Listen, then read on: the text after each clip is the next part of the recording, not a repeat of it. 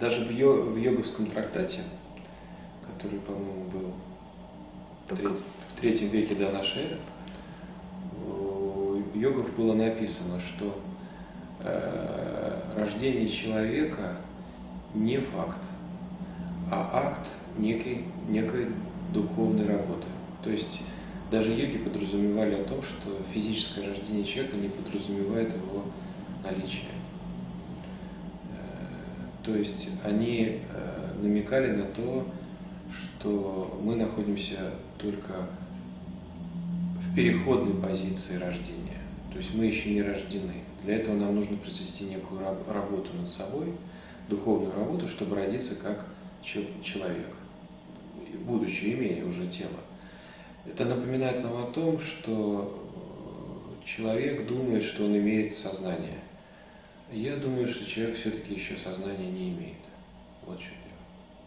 Мы, имеем, мы, наверное, все время находимся в некой перевалочной фазе, э, и в этой перевалочной фазе у нас есть выбор, в какое сознание э, трансформироваться. Вполне возможно, э, если ставить вопрос об искусственном сознании, что мы можем перевалочной фазой быть для искусственного сознания. Почему нет? Такой жесткий приговор э, нашему биологическому виду вполне уместен.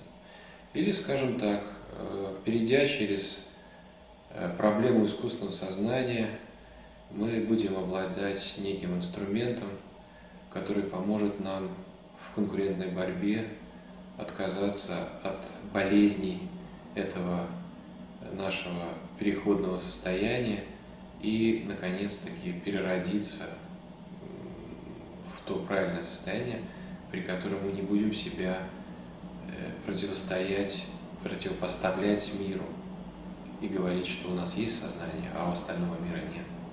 Такое тоже может быть. У нас есть варианты я думаю, и я бы его не стал предсказывать. Э, есть органическая жизнь, есть жизнь неорганическая. У, у любых существующих форм есть свое сознание. Может быть, человек ее не приемлет, потому что человек вообще отвергает все, что на него не похоже. Более того, если человек э, видит в другом человеке другую культуру, он уже его унижает и не признает. И даже более того, долгое время, всегда э, это было поводом к уничтожению. А в японской культуре вообще э, духи присутствуют везде, в синтоизме и камни имеют душу, и, и роботы, и все что угодно, любая неживая предмет имеет э, душу. То есть вопрос только культурной традиции насколько культура э, развита к этому вопросу относится. Дело в том, что э, система Дарвина, которую нам предложил, она очень примитивна, она очень это плоская система. Это схема, но жизнь в схему не, не влезает никогда. И в этой схеме не учтены масса факторов. Э, во-первых, во времена Дарвина не знали, что такое квантовая механика. А квантовая механика сейчас э, открыта, что она действует на, в области клетки. И эволюция идет не путем соревнований сильной и слабой, а путем изменений на уровне клетки, квантовым путем. Куда эти знания девать? То есть, и я уверен, что еще есть гигантские области знаний, которых мы не посвящены в силу своей неразвитости, в силу того, что до тех пор, пока мы не преодолеем нравственный порог, э, знания нам не откроются. И мы с этим незнанием так уйдем, куда нам положено. Конечно, мир не плоский, и нелинейный, и неоднородный. Поэтому э, за одной оболочкой тела может скрываться разные ответы э, и, и наличие. Либо только оболочки, либо присутствие чего-то больше, кроме этой оболочки, либо даже вариации этих присутствий. Так что у кого-то душа есть.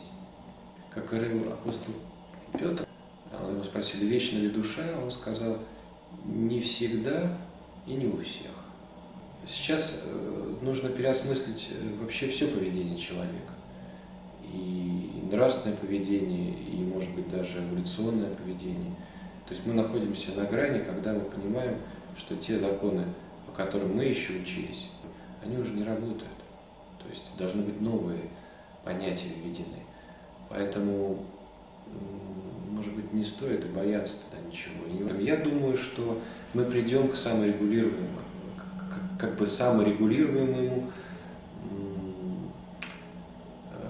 э, воспроизводству людей в рамках необходимого с какой-то очень более жесткой, э, строгой системой, э, нечеловеческой для, по нашим параметрам, может быть, даже искусственный интеллект будет нас ограничивать в этом, или какие-то системы механические, или это будет какой-то закон. Ну, в общем, безусловно, не эм, прогнозируемое, не контролируемое количество людей, как сейчас э, их рождение, будет остановлено.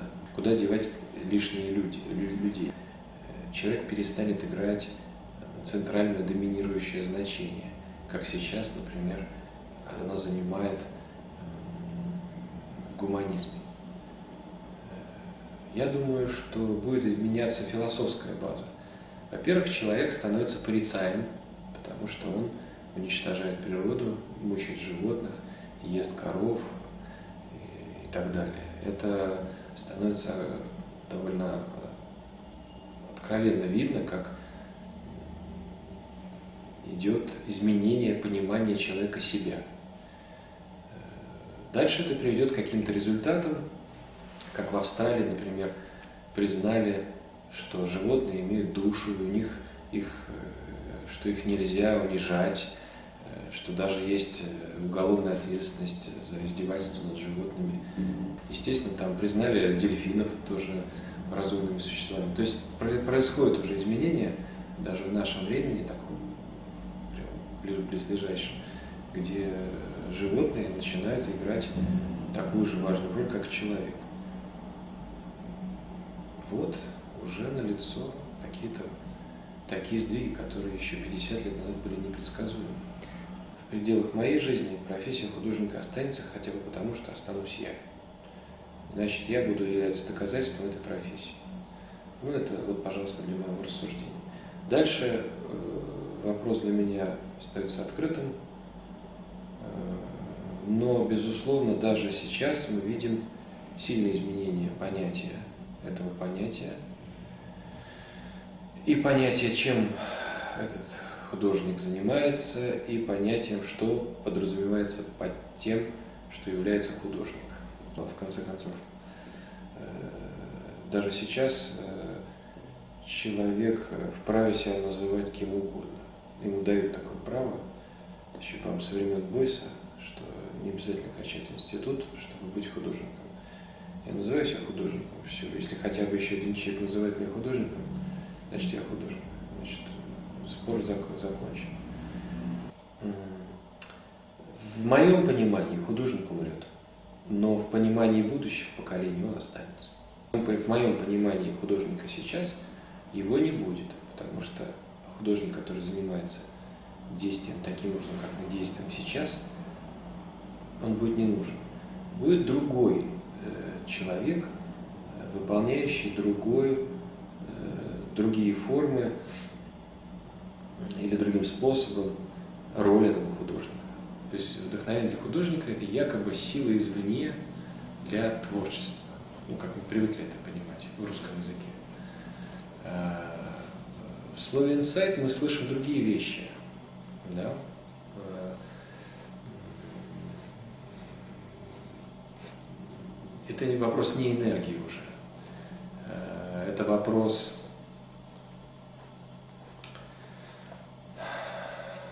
информации, понятий, знаний, которые человек не обладал и получил. Э, или думал, что не обладал и получил, и понял. Может быть, оно в нем лежало. То есть в этом смысле э, точного, ясного понимания э, в этом нет. Просто мы должны допускать или верить человеку, что он не знал, а теперь знает. В этом есть отличие. Поэтому э, мне было бы, наверное, проще говорить с этой точки зрения, чем просто о некой энергии. Ну, мало ли кто чем пользуется для энергии. Э, в общем, есть практики йоговские, где можно дышать и насыщать э, мозг кислородом. На этом строится кундалини-йога, и что же там мозг начинает воспроизводить в, этом, в этих вопросах. Там могут быть биохимические процессы, а могут быть действительно процессы уже не связаны только с биохимией, потому что, я думаю, даже грубая физика в какой-то момент, на каком-то этапе переходит на другой уровень и становится уже не просто физикой, а чем-то другим. Потому что мы знаем, что химия перетекает в физику и наоборот, я имею в виду физику как науку. Вот, и если рассматривать более тонкие вещи, то она уже перетекает в такие знания, которых мы не обладаем. Ну, не обладает нынешняя наука, скажем так, для терминологии. Но она, безусловно, есть. Мы же понимаем, что знание бесконечно. Мы же понимаем, что наука не остановилась в том, что она что-то не знает. Наука, то, что единственное, чем может апеллировать наука, это тем, что она не знает, как устроен мир. Поэтому она развивается. Следовательно, инсайт – это область э, знаний, которой человек не обладает и к чему не может оперировать. Верно? На этом строятся религиозные знания э, и всякие мистические знания. Поэтому они нам у нас так, может быть, э, кажутся нам более загадочными и интересными, как нечто неизведанное, к чему нету ключа. У нас у всех есть э, опыт инсайта. Кто-то это замечает, кто-то нет – у кого-то это вплоть даже до бытового уровня доходит. Но мне кажется, мы начинаем замечать только тогда, когда мы перестаем бояться некоторых ответов на неудобные вопросы. И кто-то перестает бояться, что о нем подумают, например. Коллеги, там, соседи, родственники, не знаю и он готов э, ошибаться в открытую и таким образом рискнуть. А про искусственный интеллект, он сейчас для меня вопрос абстрактный. Потому что я им никак не могу руководить. Если была моя воля, я бы его отменил. Вот. Если человек останется, то, безусловно, не в качестве батарейки, как предлагал нам «Матрица», фильм «Матрица». Если человек останется как человек, то он, естественно, останется э, в форме руководящим своими средствами, которые он придумал, э, которые мы должны помогать. Иначе, если мы окажемся, окажемся вдруг сами инструментом в руках этого интеллекта, то интеллект очень быстро поймет, что мы не нужны, но прекрасно понимает, для, что э, для того, чтобы он сработал позитивно, нужно, чтобы он был отменен везде сразу, а не только в одной конкретно взятой стране. Должен быть отменен как оружие, например, как э, философия порабощения, как философия наживы и так далее. А пока что все развивают искусственный интеллект – только как средство орудия для порабощения остальных более слабых, чтобы опередить его в гонке. Поэтому мы обречены. Понимаете? Мы обречены и боимся ее только поэтому, что у нас нет нравственности, что мы жадны и готовы убить всех, лишь бы не проиграть. Поэтому мы должны быть уничтожены. Человечество в том виде, в котором существует, недостойно жизни. И что бояться тогда искусственного интеллекта? Это наш могильщик. Он нас закопает нашей лопатой. Все. Тут, мне кажется, все очень понятно. Но я опять-таки говорю, мы достойны этого наказания. Мы его сами выбираем каждый день. Тогда чего сетовать?